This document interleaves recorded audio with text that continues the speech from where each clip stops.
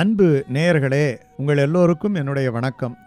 ஆலயம் தொழுவது சாலவும் நன்று அப்படின்னு சொல்கிறாங்க அதே மாதிரி பெரிய பெரிய கோயில்களை எல்லாம் பார்க்குறோம். அந்த கோயில்களெல்லாம் ராஜாக்கள் கட்டினதா சொல்கிறோம் ராஜாக்கள் தனியாக கட்டல. மக்களும் இணைந்து அந்த கோயிலை எல்லாம் கட்டி இருக்கின்றார்கள். இப்போ கோயில் கட்டுறதுக்கு உங்களுக்கு ஒரு கோடி ரூபாய் செலவாகுதுன்னா நூறு கோடி வச்சுருக்கிறவங்க எல்லாம் இருக்கிறாங்க. ஆனால் அவர்களால் கூட அந்த கோயிலை கட்ட முடியாது.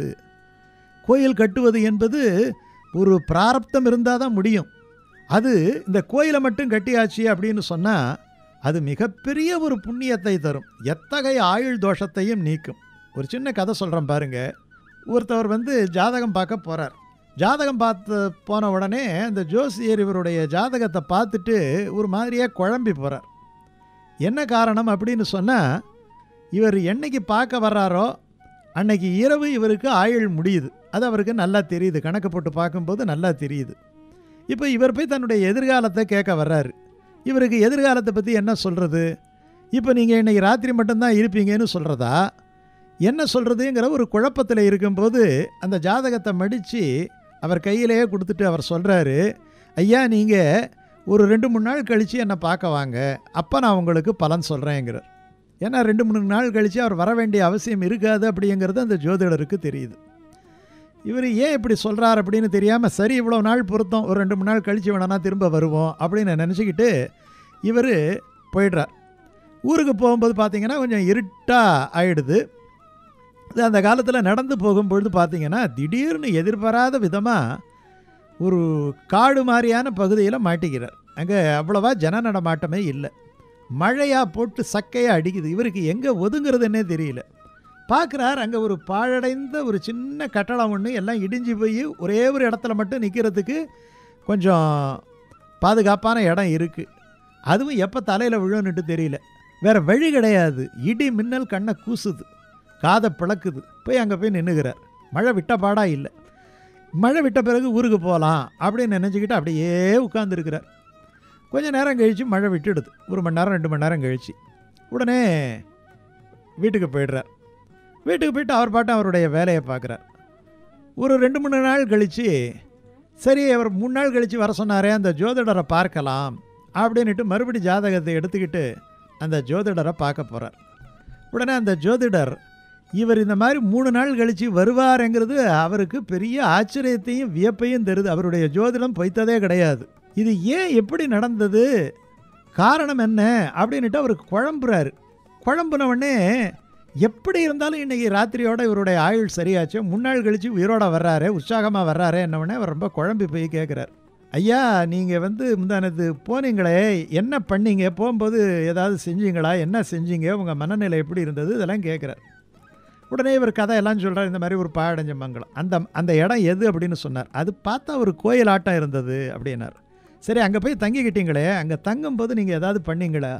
ஏதாவது செஞ்சீங்களா? அப்படின்னு கேட்கும்போது அவர் சொல்கிறார் ஆமாம் சாமி அங்கே நின்றுட்டு இருந்தேன். எல்லாம் இடிஞ்சு போய் கிடக்குது. அப்போ நான் நினச்சிக்கிட்டேன் நான் எனக்கிட்ட மட்டும் பணம் இருந்தால் இந்த கோயிலை வந்து நல்லா கட்டி ஒரு கும்பாபிஷேகம் பண்ணலாமே. இல்லை அந்த மண்டபத்தில் நல்லா அழகாக சீரமைக்கலாமே. இந்த இடத்துல கருவறையை வச்சுக்கலாமே. இந்த இடத்துல ஒரு பூந்தோட்டம் போட்டு சுவாமிக்கு வேண்டிய பூக்களை எல்லாம் பறித்து நல்லா அர்ச்சனைகளெல்லாம் செய்யலாமே. மாலை கட்டி கொடுக்கலாமே.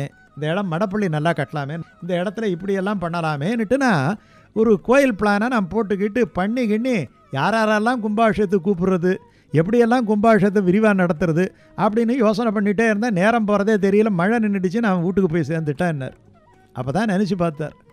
இந்த மாதிரி ஆயுள் தோஷத்துக்கு பரிகாரம் செய்ய வேண்டுமென்றால் ஒரு சிறந்த கோயிலை கட்டினால்தான் உண்டு. அதுவும் ஒரு நாளில் இவரால் கட்ட முடியாது.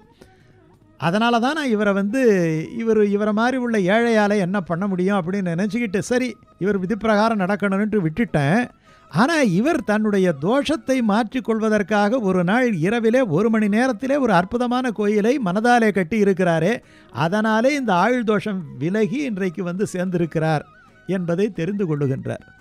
சென்னைக்கு பக்கத்தில் திருவள்ளூர் போகிற பாதையில் திருநின்றவூர்ன்னுட்டு ஒரு இடம் இருக்குது அந்த திருநின்றவூருங்கிறது தொண்டை நாட்டு தலம். சரி அந்த இடத்துல பல்லவர்கள் காலத்தில் ஒரு ஏழை பிராமணர் ஒருவர் வாழ்ந்து வந்தார். அவருக்கு பூசலார் அப்படின்ட்டு பெயர்.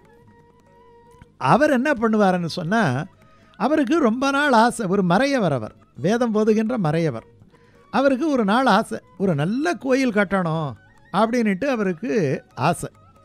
ஆனால் அவர்கிட்ட பணம் காசு கிடையாது.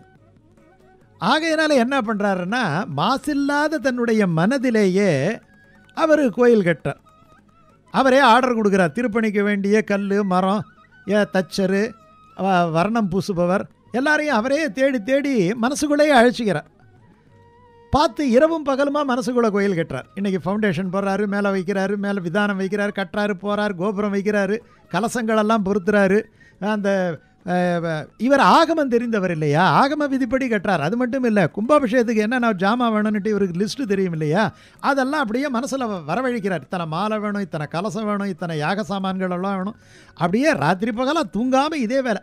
நிஜமாலுமே கோயில் கட்டினா எவ்வளோ பிஸியாக கட்டுவாரோ அந்த மாதிரி ஒரு கோயில் கட்டுறார். இதே நேரத்தில் காடவர்கோன் அப்படின்னுட்டு ஒரு பல்லவ மன்னன் அவன் காஞ்சி நகரத்தில் கற்களாலே ஒரு அற்புதமான கோயிலை எழுப்புகின்றார் சரி. இவரும் கட்டி முடிச்சிட்டார் அவரும் கட்டி முடிச்சிட்டார். அவர் கும்பாபிஷேகத்துக்கு ஒரு நாள் வைக்கணும். நாள் வச்சிட்டார். நாள் வச்சுட்டு ராஜா அங்கே வேதியர்களெல்லாம் வச்சு பஞ்சாங்கத்தை பார்த்து நாள் வச்சுக்கிட்டு போயிட்டார். போய் அவரை ராத்திரி நேரம் பூஜை பண்ணிட்டு போய் படுத்துக்கிட்டார். படுத்த உடனே இறைவன் அவருடைய திருக்கனவிலே வந்து எப்பா இந்த நாள் மாற்றிக்கோ அப்படிங்கிற யாருக்கிட்ட ராஜா கிட்ட. ராஜாவுக்கு ஒன்றும் புரியல. ஏன் அப்படின்னு சொல்கிறார் இல்லை இல்லை இந்த நாள் ஏற்கனவே டேட் இன்னொருத்தவருக்கு கொடுத்துட்டேன். அவருடைய கோயிலுக்கு நான் இன்னைக்கு போயாகணும் அதனால் நீ தேதியை மாற்றிக்கவேங்கிறார் உடனே இவர் பார்க்கிறார் அழகான பாட்டு ஒன்று நின்ற ஊர் பூசலன்பன் நெடுது நாள் நினைந்து செய்த நன்று நீடு ஆலயத்து நாளை நாம் புகுவோம். நாளைக்கு அங்கே தான் போகிறேன் நீ இங்கு ஒன்றிய செயலை நீ செல்ல செய்யணும்னு நினச்ச இந்த கும்பாபிஷேகத்தை நாளை ஒழிந்து நாளை நீக்கிட்டு பின் கொள்வாய். பின்னாடி ஒரு நல்ல நாள் வச்சுக்கோ. என்று கொன்றைவார் சடையார் தொண்டர் கோயில் கொண்டருளப் வந்தார். நாங்கள் போகிறேன்னு சொல்லிட்டு போயிட்டார்.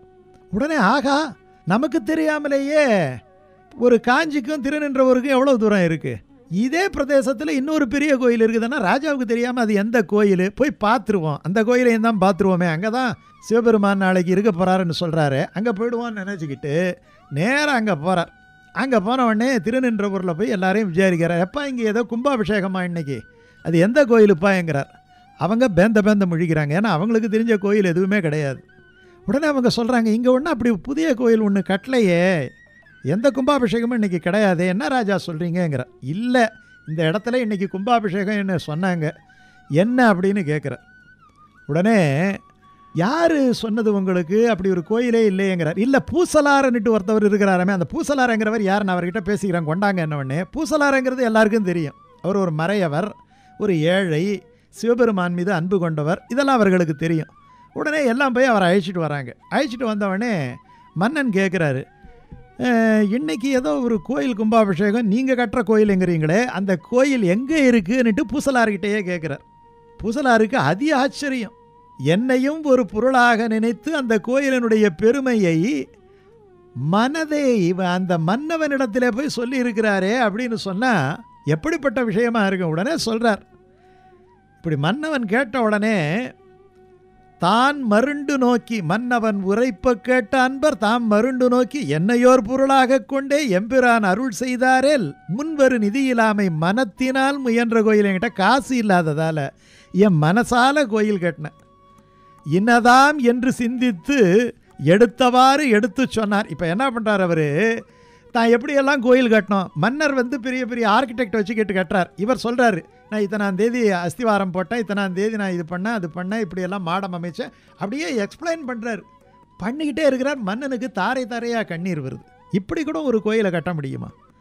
நெடுஞ்சான் கிடையா விழுந்து வணங்குறார். வணங்கினவொடனே கோயில் கட்டுறதுக்கு பணம் காசு வேண்டியதில்லை. மனம்தான் வேண்டும் என்பதை மன்னன் தெரிந்து கொண்டு அந்த அடியவனுடைய திருப்பாதங்களிலே விழுந்து வணங்கினான். விழுந்து வணங்கி அவரை கட்டி அணைத்து கொண்டான். இப்படிப்பட்ட ஒரு சிவன் அருட்செல்வர் நம்ம வேற எங்கே பார்க்க முடியும்னுட்டு. அப்படி மன்னனே அதிசயித்த அந்த பூசலார் வந்து அவருடைய குரு பூஜை ஐப்பசி மாதத்தில் அனுஷ நட்சத்திரம். நாளைக்கு அனுஷ நட்சத்திரம் விசாகம் முடிஞ்சு அனுஷ நட்சத்திரம். அந்த அனுஷ நட்சத்திரத்திலே இந்த அற்புதம் நடைபெறுகின்றது. அந்த நாளை நாம் நினைத்து நாமும் இந்த மனப்பூஜையை நம்ம தினசரி செய்ய வேண்டும். அந்த நாயனாரின் குரு பூஜை தினம் இந்த மூன்றாம் தேதி மறந்து விட வேண்டாம்.